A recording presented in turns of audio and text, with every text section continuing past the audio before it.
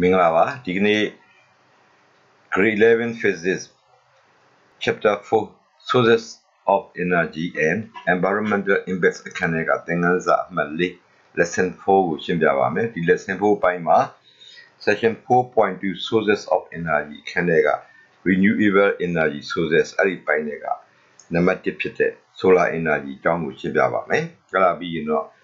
concentrated solar power CPS တွေအကြောင်းပြီးရင်တော့ example 2ပြီးရင်တော့ဒီဘိုင်းနဲ့သက်ဆိုင်တဲ့ review is like number 1 2 3ဒါတွေကိုရှင်းပြပြီးတော့မှာဖြစ်ပါတယ်အဲ့တော့ပထမအဦးဆုံးဒီမှာဒီဘိုင်းနဲ့မှာသက်ဆိုင်တဲ့ဒီ concentrated solar power CBS စုယူ solar စွမ်းအားဆိုတဲ့အကြောင်းကိုရှင်းပြမှာဖြစ်ပါတယ်အဲ့တော့ဒီမှာသူက CBS ဆိုတာကနေကရတဲ့ဒီစွမ်းအင်တွေကိုတနေရာထဲမှာ concentrate လုပ်ပြီးတော့အသုံးပြုတဲ့စနစ်ကို concentrated solar power C အဲ့တော့ CSP ပေါ့နော် CSP system လို့ခေါ်မှာဖြစ်ပါတယ်အဲ့တော့ဒါကြောင့်မလို့ concentrated solar power CSP system generate solar power by using mirrors or lenses to concentrate a large area of sunlight onto a specific point of receiver which converts into heat ဒီစနစ်မှာစုယူဆိုလာစွမ်းအားစနစ်များတွင်ကျေပြန့်သော area ပေါ်ကြာရောက်လာသောနေရောင်ကိုကြေးမုံသို့မဟုတ် lens များမှန်ဘလူးများကိုအသုံးပြုပြီးတော့ အမှတ်တစ်ခုထဲမှာစုဆုံစေကဆိုလာစွမ်းအားကိုစုယူထုတ်ယူပြီးတော့အပူဖြစ်ပြောင်းလဲပေးသည်လို့ဆိုလိုတာဖြစ်ပါတယ် The heat is then used to create steams steams which drives a turbine to generate electrical power therefore CSP plants consists of two parts one that collects solar energy and converts it into heat and another that converts the heat energy to electricity ဒါကြောင့်မို့လို့ဒီသူယူဆိုလာစွမ်းအားစနစ်တွေမှာသူကအဲ့တော့သူကအပိုင်းနှစ်ပိုင်းပါမှာဖြစ်ပါတယ်ရရှိလာသောအပူစွမ်းအင်ဖြင့်ရေတွင်းငွေဖြစ်စေကလျှက်စစ်ထုတ်ပြီးသောတာဘိုင်ကိုမောင်းနှင်ပြီးလျှက်စစ်စွမ်းအင်ကိုထုတ်ယူသည်ထို့ကြောင့် CSP စက်ရုံတို့တွင် နေစွမ်းအင်ကိုစုဆောင်းရရှိစုဆောင်းရယူပြီးရေနှွေးငွေဖြစ်စေသောအပိုင်းနှင့်အပူမှလျှက်စစ်စွမ်းအင်ဖြစ်ပြောင်းလဲပေးသောလျှက်စစ်တာဘိုင်အပိုင်းဟု နှစ်ပိုင်းပါဝင်မှာဖြစ်ပါတယ်အဲ့တော့ဒါတွေပြီးပြီဆိုရင်တော့ there are four types of CSP technology အဲ့တော့ဒီလိုနေအောင်ကြီးကိုစုယူပြီးတော့စွမ်းရည်ဖြစ်ထုတ်ယူတဲ့နည်းပညာမှာသူကမျိုးစားပုံသဏ္ဍာန်သူက၄မျိုးရှိပါတယ်နံပါတ် A ကတော့ parabolic charge system လို့ခေါ်ပြီးတော့နံပါတ် B က linear fresnel system ပါနံပါတ် C ကတော့ power tower system ဖြစ်ပြီးတော့ဒီကတော့ parabolic system ဖြစ်ပါတယ်ဒါကြောင့် CSP နည်းပညာတွင် A parabola ကွေး B ဖြောက် fresnel မှန်ဘလူးပြ C power မျှော်စဉ် D parabola ဝိုင်းပြပြီးတော့နေစွမ်းအင်ကိုစုယူတဲ့စနစ်လေးမျိုးရှိတာကိုတွေ့ရမှာဖြစ်ပါတယ်အဲ့ဒီထဲမှာပထမဦးဆုံးအဲ့တော့ parabola ကွေးစနစ်လို့ပြောတယ် parabola torque system သူ့ကိုမျိုးစာအုပ်ကပုံလေးနဲ့ဖော်ပြထားပါတယ်အခုဒါလေးကသူ့ရဲ့ဓာတ်ပုံပဲဖြစ်ပါတယ်အဲ့တော့ဒီဘက်ကပုံကတော့ဒါကမျိုးစာအုပ်ကဖော်ပြတဲ့ဒီ parabola torque system ရဲ့ပုံပဲဖြစ်ပါတယ်အဲ့တော့ဒီမှာသူကနေအောင်ကလာတဲ့အလင်းရောင်တွေခုအနီရောင်နဲ့ပြလိုက်တဲ့ကောင်တွေပါသူတို့ကခုဒီ parabola ပုံသဏ္ဍာန်ရှိတဲ့ဒီ reflector သို့ဒီမဟုတ် mirror ပေါ်ကိုကြာမှာဖြစ်ပါတယ်အဲဒီကြာလာတဲ့အားတွေကိုသူကသူ့ရဲ့ focus နေရာမှာသူကပြန်ပြီးတော့စုဆုံပြီးတော့အပူစွမ်းရည်တွေကိုစုယူပြီးတော့ဒီကနေတဆင့်သူကရေနွေးငွေ့ပြီးလို့ရှိရင်တာဘိုင်ကိုလဲပြီးတော့ yes စွမ်းကိုထုတ်ယူတဲ့စနစ်ပဲဖြစ်ပါတယ်အဲ့တော့နောက်တစ်ခုကတော့နံပါတ် B linear Fresnel system လို့ပြောတဲ့အဖြောက် Fresnel မှန်ဘလူးပြစနစ်ပဲဖြစ်ပါတယ်အဲသူ့ရဲ့ပုံလေးကတော့အခုဒီမှာဓာတ်ပုံလေးကိုပြထားပါတယ်အဲ့တော့ဒီမှာကတော့သင်ရိုးစာအုပ်ကပေးတဲ့ဒါပုံပဲဖြစ်ပါတယ်အဲ့တော့ဒီစနစ်မှာလည်းပဲစောစောက parabola အစားပေါ့ဒီကနေပြီးတော့ဒီ reflector Fresnel မှန်ဘလူးပြလေးတွေကနေပြီးတော့သူကဘာလုပ်တာလဲဆိုအလင်းရောင်ကိုတနေရာလေးကို စုယူလိုက်တာဖြစ်ပါတယ်အဲ့တော့ဒီအပါဟိုမှာရှေ့မှာပြောခဲ့တဲ့ parabola စနစ်နဲ့ဒီ freshness နဲ့မှာဘာကွာတော့ဆိုလို့ရှိရင်သူကတော့ဒါကတော့အဖြောက်ဖြစ်တာဖြစ်ပါတယ်အဲ့ဒီ parabola မျက်နှာပြင်တစ်ခုစီကိုသူကဖြတ်ပြီးတော့အဖြောက်စီထားတာဖြစ်ပါတယ်ဒါကြောင့်သူကို freshness လို့ခေါ်တာဖြစ်ပါတယ်အဲ့ဒီမှာလည်းပဲနေရာကျလာတဲ့ဒီအပူစွမ်းရင်ကိုတနေရာထဲမှာစုဆုံနေပြီးတော့သူ့ကိုအသုံးပြုတာပဲဖြစ်ပါတယ် အခုဒီပုံမှာကြည့်ရင်ဒါကနေကနေကြောက်လာတဲ့ဒီလင်းနှန်းတွေဖြစ်ပါတယ်သူတို့ကိုအခုအပေါ်မှာရှိတဲ့နော်နေရာမှာသွားပြီးတနေရာတွေမှာစုဆုံနေပြီးတော့အပူစွမ်းရင်ကိုစုဆောင်ရယူအသုံးပြုတဲ့စနစ်ပဲဖြစ်ပါတယ်အဲ့ဒါပြီးရင်နောက်တစ်ခုကတော့ number C power tower system အဲ့ဒီ power မျှောစင်စနစ်ကတော့သူကရှေ့ရဟာနဲ့ဆိုင်ပုံမှုပြီးကြီးမားကျယ်ပြန့်တာကိုတွေ့ရမှာဖြစ်ပါတယ်အခုဒီမှာပုံမှာကြည့်တာ power tower တစ်ခုရဲ့ ဓာတ်ပုံလေးကိုဖော်ပြထားတာဖြစ်ပါတယ်သူသူ့မှာဆိုလို့ရှိရင်တော့ဒီအလဲကောင်းမှာဒီ solar energy ကိုစုဆောင်းယူတဲ့နော်နေရာရှိပြီးတော့ဘေးပတ်ပတ်လည်မှာနော်ဒီ reflector ပေါင်းများစွာတက်ဆင်ထားတာဖြစ်ပါတယ်အဲ့ဒီ reflector တွေကပေါ်မှာကြောက်လာတဲ့နေအောင်ကြီးဟာအဲ့တော့သူ့ကိုဒီ tower ထိပ်မှာရှိတဲ့ဒီ collector ကိုတနေရာထဲမှာစုဆုံအောင်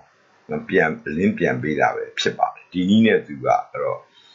ရရှိတာလို့ဆိုရင်အပူစွမ်းကိုရမယ်ရတဲ့အပူစွမ်းကိုသူကအဲဘာလို့ပြန်လုပ်မလဲဆိုလို့ရှိရင်လျှက်စစ်ပြီးထုတ်တာဖြစ်ပါတယ်အဲ့တော့ဒီဓာတ်ပုံလေးဟာချီလီမှာရှိတဲ့အဲ130 megawatt ထုတ်ပေးနိုင်တဲ့ solar power tower တစ်ခုရဲ့ဓာတ်ပုံပဲဖြစ်ပါတယ်အဲ့တော့သူ့ကိုတော့သင်တို့စာအုပ်ကအခုဒီပုံနဲ့ပေါ်ပြပါတယ်ဒီပုံမှာလည်းပဲဒါ CSP ရဲ့ထုံးစံအတိုင်းကြောက်လာတဲ့နေရောင်တွေကိုတနေရာထဲမှာ concentrate လုပ်ပြီးတော့ power ကိုထုတ်ယူတာပဲ ဖြစ်ပါတယ်အနောက်ဆုံးအမျိုးအစားတစ်ခုကတော့သူက parabolic system လို့ပြောတဲ့ပါရာဘလာအဝိုင်းစနစ်ပဲဖြစ်ပါတယ်အဲ့တော့ဒီမှာပါရာဘလာအဝိုင်းဆိုတဲ့အတိုင်းသူကအဲဒီကောင်ကဒီစလောင်းပုံသဏ္ဍာန်ရှိတာဖြစ်ပါတယ်သူ့မှာလည်းပဲဒါကသင်ဥစ္စာကပြီးတဲ့ပုံမှာသူလည်းထိုးနီ၎င်းမှာပဲကြောက်လာတဲ့ဒီ solar energy တွေကိုဒီ parabola အဝိုင်းကနေ reflect လုပ်ပြီးတော့အပေါ်မှာ receiver လို့ပြောတဲ့နေရာမှာတွားပြီးတော့တနေရာထဲမှာစုဆုံပြီးတော့ ဒီနေအောင်ကြီးစွမ်းရင်ကိုစုယူပေးတာဖြစ်ပါတယ်အဲဒါတွေဟာအဲ့တော့ CSP လို့ပြောတဲ့ solar concentrated power system နဲ့ပတ်သက်ပြီးတော့သင်တို့စာအုပ်ကဖော်ပြထားတဲ့နီလန်လေးမျိုးကြောင်းကိုရှင်းပြပေးတာပဲဖြစ်ပါတယ်အဲ့တော့သူတို့ပြီးပြီဆိုရင်တော့ဒီအပိုင်းနဲ့သက်ဆိုင်တဲ့ဒီ example 2လေးကိုရှင်းပြမှာဖြစ်ပါတယ် example 2က a home requires 62 kilowatt hour of heat on winter days to maintain a constant indoor temperature of 20 degrees Celsius. Assume that the temperature of hot water outlet is 60 degrees Celsius. How much collector surface area does it need to need for solar heating system that has efficiency uh, 20% efficiency? Number two, how large does the storage tank have to be provide this much energy? Average solar radiation per day in winter is about 6.5 kilowatt hour per meter square အပု္ပ္ပစာကပြောတာကဒီဆောင်းရာသီမှာအိမ်တိမ်ရဲ့အပူချိန်ကိုတဲ့20 degree celsius နဲ့ရှိနေဖို့အတွက်အပူပမာဏ62 kilowatt hour လိုတယ်။ရေဘူးအထွက်ဤအပူချိန်ကို60 degree ယူဆပါကနံပါတ်1စွမ်းရည်20%ရှိသော solar စနစ်အတွက်စုယူ solar မျက်နှာပြင် area ဘယ်လောက်ရှိရမလဲ။နံပါတ်2က ထိုးပူပမာဏရှိတဲ့အပူစွမ်းကိုပေးနိုင်ရန်အတွက်ရေလောင်ကန်သည်မြင်းမြကြီးရမည်လို့တွက်ခိုင်းထားတာဖြစ်ပါတယ်။နောက်တစ်ခါဒီမှာဒီအိမ်ရှိတဲ့နေရာမှာရှိတဲ့ဆောင်းရာသီရဲ့တနေ့တာအတွက်ဖြန့်မြနေအောင်ကြီးစွမ်းရင်က5.6 kilowatt hour per meter square ခန့်များရှိသည်လို့ပြောထားတာဖြစ်ပါတယ်။အဲဒီပု္ပ္ပစာကိုတွက်ဖို့အတွက်ပု္ပ္ပစာရဲ့ပေးထားခြင်းများကိုအရင်ကြည့်ပါမယ်။အဲ့တော့သူက solar radiation per day တရက်မှာရရှိနိုင်တဲ့ဒီ solar radiant energy ဟာ6.5 kilowatt per meter square ဖြစ်ပါတယ်။အဲ့ဒါပြီး efficiency of the system အဲ့တော့ဒီမှာအပူပေးမဲ့ဒီ system တစ်ခုလုံးရဲ့ efficiency ဟာပု္ပ္ပစာမှာပေးထားတဲ့အတိုင်း20%ဒါကြောင့်မို့သူက0.2ပါအဲပြီးလို့ရှိရင်အဲသူ့ကိုတွက်ဖို့အတွက်နံပါတ်1မှာ the thermal energy per day အဲတရက်မှာရရှိနိုင်တဲ့နော်ဒီ thermal energy သူကနော်ဘယ်ကနေရမှာလဲ obtained using collector collector ကိုဒီ solar collector ကိုအသုံးပြုပြီးရနိုင်တဲ့အကောင်သူက solar solar radiant per day အမြောက် efficiency of the system ဖြစ်ပါတယ်ဒါကြောင့်မို့လို့ဒီမှာရှိတဲ့ solar radiant radiation per day က60 6.5 into 0.2ဒါကြောင့်မလို့သူဒီဘယ်လောက်ရမလဲ1.3 kilowatt hour per meter square ဒါရရှိနေတာဖြစ်ပါတယ်ဒါတရက်မှာရရှိနိုင်တဲ့ဒါတန်ဖိုးဖြစ်ပါတယ်အဲ့နေအောင်ကနေကနေရလာကတော့60 6.5 kilowatt power meter square ဖြစ်တော့လေဒီ system ရဲ့ efficiency က0.2ပဲရှိတဲ့အတွက်ကြောင့်တကယ်ရနေတာကိုတွက်ယူလိုက်တာပဲဖြစ်ပါတယ်အဲ့တော့ this means that for every square meter of collector surface area 1.3 kilowatt hour of heat are produced every day ဒါပါကိုဆိုလိုတယ်လို့ဆိုရှင်ရင် collector ရဲ့မျက်နှာပြင် area 1 meter square ရှိတိုင်းရှိတိုင်းသူကနေတိုင်းနေတိုင်းမှာသူကနေကနေပြီးတော့စွမ်းအင် heat အပူပေါ့နော်သူဘယ်လောက်လောက်ရနိုင်လဲဆို1.3 kilowatt hour ရနိုင်တယ်လို့ဆိုလိုတာပဲဖြစ်ပါတယ်အဲ့တော့နောက်တစ်ခုက collector surface area ပါ။ collector surface area က မသိပါဘူးအဲ့တော့သူကသူကတော့တကယ်တမ်းကျတော့လိုအပ်တဲ့ collector surface area ဟာဘယ်လောက်ရှိရမလဲဆိုရင်အဲ့တော့လိုအပ်တဲ့အပူပမာဏကိုအဲ့တော့ heat produced per unit area နဲ့စားထားတယ်တန်ဖိုးပဲဖြစ်ပါလိမ့်မယ်ဒါကြောင့်မလို့သူဒီအဲ့တော့လိုအပ်တာက62လို့တယ်ရနိုင်တာက1.3ပဲရနိုင်တယ်ဒါကြောင့်သူ့ကိုစားလိုက်တဲ့အခါမှာအဲ့တော့ဒီအပူပမာဏကိုထုတ်ပေးနိုင်မှုအတွက်လိုအပ်တဲ့ဒီ collector ရဲ့ surface area သည် 48 meter square ဆိုတဲ့အဖြေကိုရပြီဖြစ်ပါတယ်ပြီးနံပါတ်1ကမေးတဲ့နော်ဒီရေပမာဏကိုတွက်ဖို့အတွက် temperature difference in AC between the hot fluid and cold water going into the storage tank အဲ့တော့ဒီမှာ temperature difference ကဒီ storage tank တွေကိုဝင်လာတဲ့ဒီ hot fluid ဆိုတာရေဘူးတွေပေါ့နော်သူကဒီ solar energy ရပြီးတော့ပူလာတဲ့ရေတွေရဲ့အဲ့တော့ နောက်ပြီးလို့ရှိရင် cold water going into the tank အဲ့တော့ရေဒီဒီ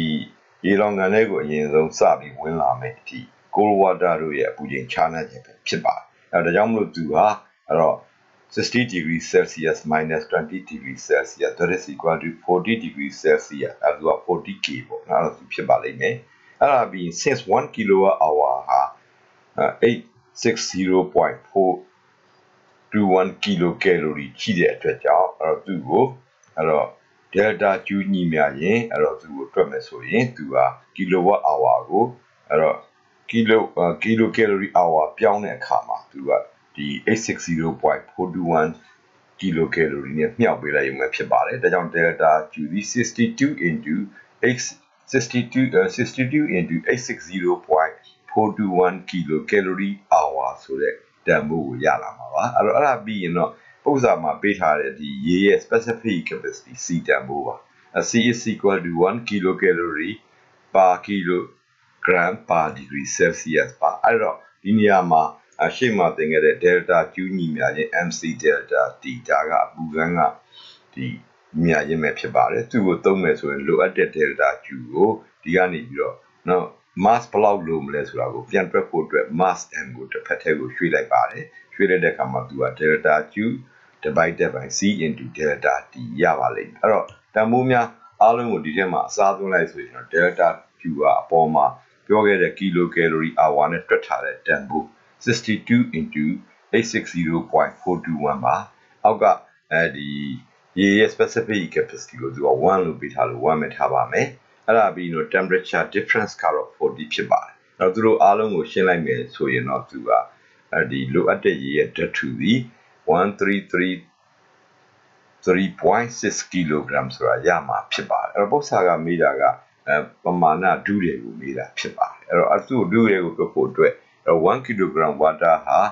1000 cc တနည်းပြောရင်1 liter volume ရှိပါတယ်။ဒါကြောင့်မို့လို့အခုနော်လိုအပ်တဲ့ပမာဏကို ထုတ်ပေးတဲ့ရေရဲ့ဓာတ်ထုဟာ133.6 kg ရှိတယ်ဆိုတဲ့အတွက်ကြောင့်သူဒီအအနည်းဆက်ဆုံးယူလိုက်မယ်ဆိုရင်တော့အဲ့တော့သူက1334 liter လောက်လိုအပ်မှာဖြစ်ပါတယ်အဲ့တော့ဒါကြောင့် the storage tank should have the capacities of 1334 liters အဲ့ဒီတရား1344လီတာဆိုတာဂါလန်ဖွဲ့ရင်တော့သူက350တသမ4ဂါလန်ရှိတာဖြစ်ပါတယ်ဒါသည်ပု္ပ္ပာကမေးထားတဲ့ စောစောကပြောတဲ့ဒီအိမ်ကိုအပူပေးနိုင်မှုအတွက်နော်လိုအပ်တဲ့ဒီရေလောင်ငံမှာရှိတဲ့သူ့ရဲ့ပမာဏသူကဂါလန်350မှာ4ဂါလန်လောက်ရှိရမယ်လို့ဒါဖြည့်ဆိုပေးတာပဲဖြစ်ပါတယ်အဲ့တော့ဒါပြီးပြီဆိုရင်တော့ဒီဘိုင်းနဲ့သက်ဆိုင်တဲ့ review extract ထဲက review extract number 1ကိုရှင်းပါမယ် review extract number 1က the banquet of GAS Germany ရဲ့စနစ်ပေါ့နော် is 1.4 electron volt calculate the minimum wavelength of light of photovoltaic generations of Germanian arsenic solar cells အဲ့တော့ပု္ပ္ပာကတပိုင်းတကူပစ္စည်း GAS ရဲ့ energy band များကြားမှာရှိတဲ့စွမ်းအင်သူက1.4 EV electron volt ဖြစ်ပါတယ်အဲ solar cell ဒီအလင်းမှာလျှက်စစ်ထုတ်လို့ခြင်းအတွက်အလင်းဤလိုင်းလျာအနည်းဆုံးလိုင်းလျာကိုတွက်ပေးပါလို့ပြောအဲ့တော့ဒီပု္ပ္ပာမှာသူက ဒီ bank gap energy E ကိုပေးထားတယ်သူက1.4 EV ပါအဲ့ဒါပြီးတော့သူ့ကိုတွက်ဖို့အတွက်ဒါ Planck constant တန်ဖိုးကိုသိရမှာ Planck constant ကလည်း G 11မှာပါခဲ့ပြီးလား G 10မှာလည်းပါပါ H ကနော်သူက6.626 into 10 to the power minus 24 joule second မှာအဲ့ဒါပြီးတော့ the velocity of light သူက c ဟာ3 into 10 power 8 meter per second ပဲဖြစ်ပါအဲ့တော့ နောက်ပြီးသိရမှာကဒီ1 electron volt ကဘယ်နှ joule ရှိသလဲဒါလည်းရှေ့ကနော်ဒီ G11 မှာသိပြီးသားတန်ဖိုးတွေဖြစ်တဲ့ကြောင့်ပုံစံမှာပြိမထားပါဘူးသူက1 electron volt စီ1.6 into 10 to the power minus 90 joule ပဲဖြစ်ပါတယ်အဲ့ဒါပြီးတော့ဒီ photon energy ကိုဒါ E ညီမျှရင် HF နဲ့တွက်မှာဖြစ်ပါတယ်ဒီနေရာမှာအဲ့တော့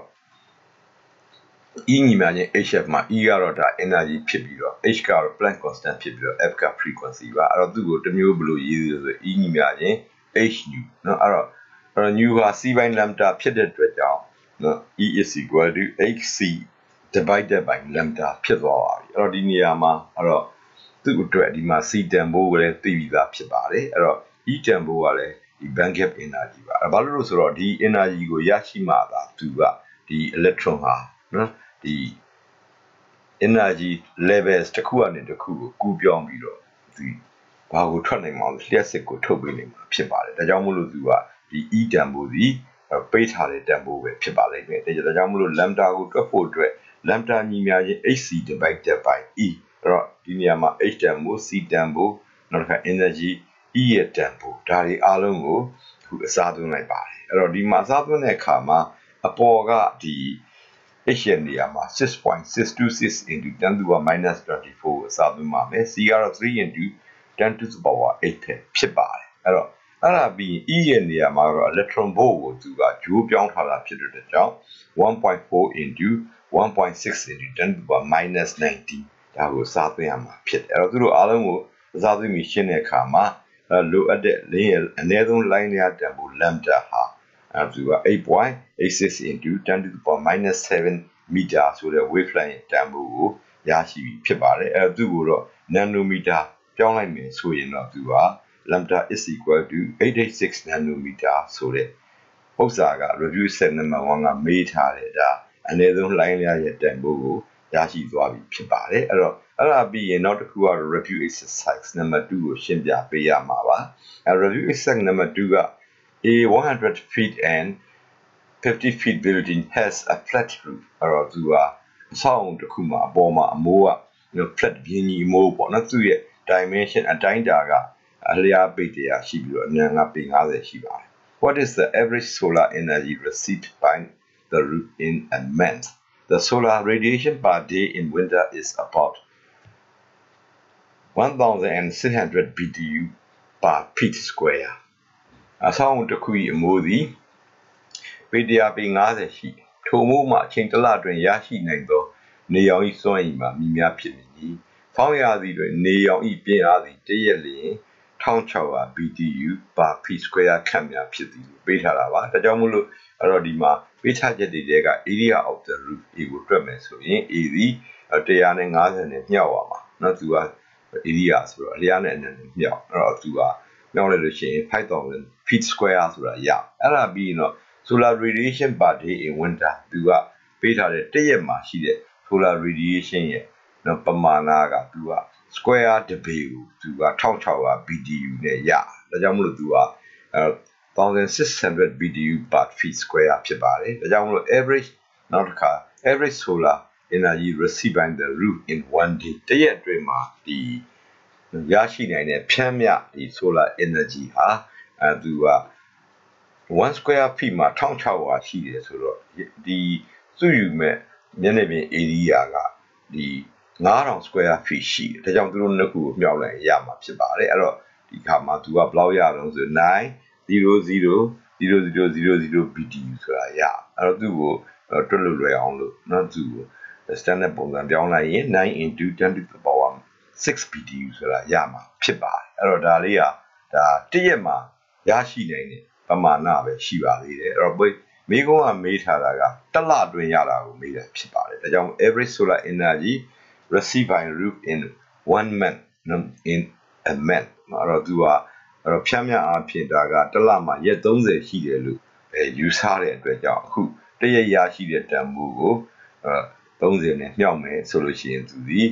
2.7 into 10 to the power 8 BTU per month ပေါ့နော်အဲ့တော့တစ်လအတွင်းမှာရတဲ့ပမာဏသည်2.7 into 10 power 8 BTU ဒီအပူပမာဏကိုရရှိနိုင်တယ်လို့ဖြေပေးတာပဲဖြစ်ပါတယ်အဲ့ဒါပြီးနောက်တစ်ခုကတော့ review exercise number 3ပဲဖြစ်ပါတယ် review exercise number 3 are calculate the solar energy received by a standard hot water collector of dimension 1 meter into 2 meter over 1 hour at around noon now if the irradiance stay fairly constant at about 800 watt per meter square ပုံစံကပြောတာကအခုဒီမှာရှိတဲ့ဒါ flat water collector ပေါ့နော်အဲ့တော့အဲ့ဒီကောင်ကအရင်မှာတက်ဆင်ထားတဲ့ကောင်အဲ့တော့နေအောင်ကြီးပြင်းအားဒီ800 watt per meter square ခန့်များဖြစ်ပါကအတိုင်းအတာ1 meter into 2 meter ရှိသောနေအောင်ကြီးစုကရိယာပါရှိသည့်ရေဘူးဆက်တစ်ခုမှာ နေမွန်းတဲ့ချိန်အချိန်တနာရီအတွင်းရရှိနိုင်မယ့်နေအောင်ကြီးစွဲရင်ကိုထွက်ပါလို့မေးထားအဲ့တော့ပု္ပ္ပာရဲ့ပေးထားချက်တွေကိုကြည့်မယ်ဆိုရင်သူကသူ့ရဲ့ irradiance ကသူကဘလောလောရှိလို့10 meter square မှာ800 watt ရှိဒါကြောင့် irradiance is equal to 800 watt per meter square ပါပြီးလို့ရှိရင် solar energy receiving area နော်အဲ့တော့သူကဒီနေအောင်ကိုစုယူမဲ့ကောင်ဒီ collector ရဲ့ဒီ collect လုပ်တဲ့မျက်နှာပြင် area သူကတော့ A ပါသူကသူ့ရဲ့ dimension ပေးထားတဲ့1 meter နဲ့2 meter နဲ့မြှောက်လို့ရှိရင်သူက2 meter square ရမှာဖြစ်ပါတယ်အဲ့ဒါပြီးရင်တော့ဥစ္စာမှာအဲ့တော့ဒီ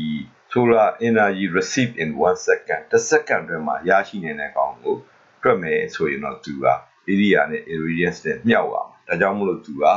2 meter square နဲ့800နော် watt per meter square နဲ့မြှောက်ရင်သူက1600 watt အထအချိန်တစ်စက္ကန့်တွင်မှာနေကနေအခုဒီ collector လေးကနေစုယူရရှိနိုင်တဲ့ solar energy ရဲ့ပမာဏပဲဖြစ်ပါတယ်အဲ့တော့ဒီနည်းပြောရင်တော့သူက1600 joule per second ပေါ့နော်ရှင်းမှာတော့ in 1 second လို့ပြောထားလို့ဒီမှာ1နဲ့အဖြေရ